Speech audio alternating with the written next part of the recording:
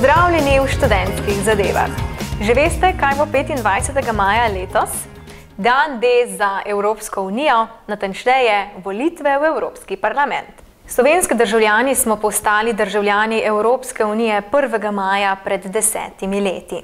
Slovensko državljanstvo dopolnjuje evropsko, na ta način pa pridobivamo tudi posebne dodatne pravice. Zlasti, ko iščemo zaposlitev, smo za svoje delo plačani, se upisujemo na šolo in koristimo zdravstveno oskrbo. Za in proti. Zavod za kulturni dialog je pred bližajočimi evropskimi volitvami pripravil projekt Uživajmo evropsko državljanstvo. In zakaj je pravzaprav tako pomembna politična participacija mladih?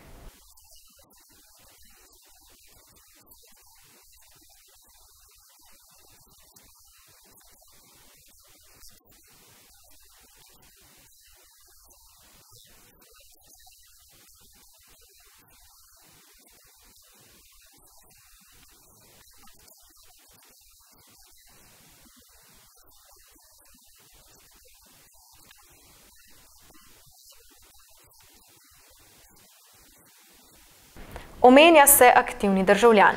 Je to nekdo, ki hodi na volitve, spremlja domačo politiko in prebera dnevno časopisje?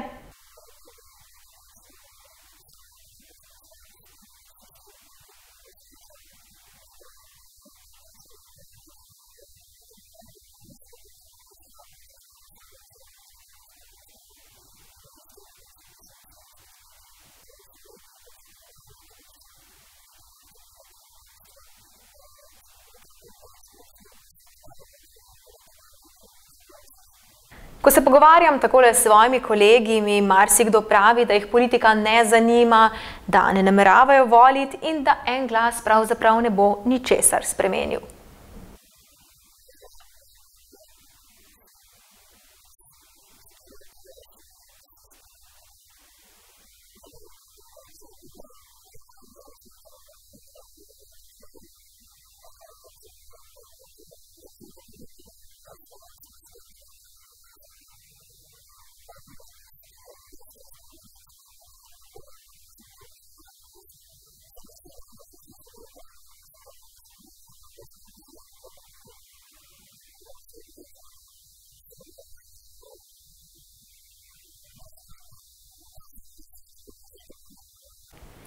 Stroka se s Primčevo izjavo verjetno ne bi strinjala, saj je parlament skupaj s svetom Evropske unije najpomembnejše zakonodajno telo v Evropski uniji.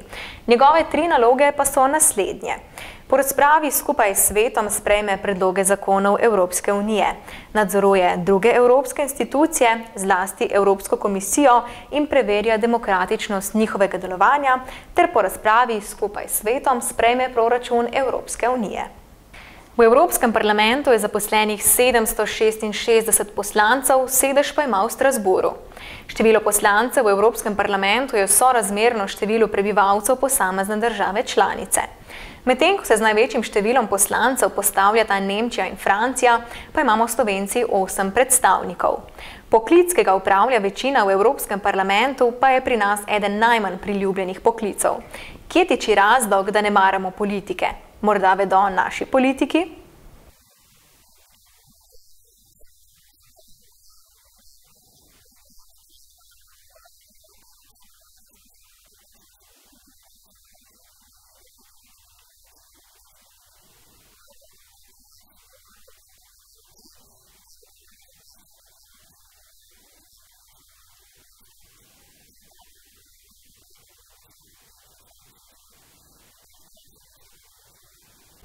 No, vse pa le ni tako brezupno. Obstajajo namreč načini, kako kaj spremeniti tudi na bolje.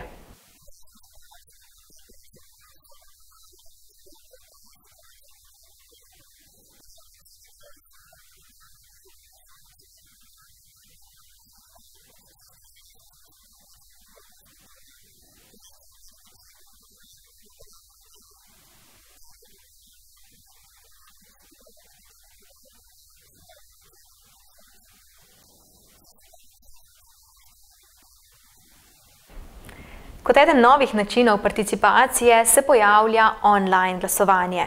Gre za realnost ali utopijo?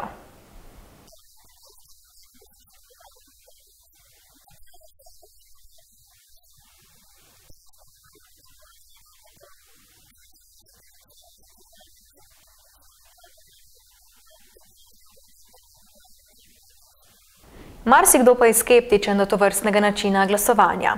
Pojavlja se skrb za starejše, tiste brez internetnega priključka, najbolj zaskrbljujoča pa je anonimnost na spletu.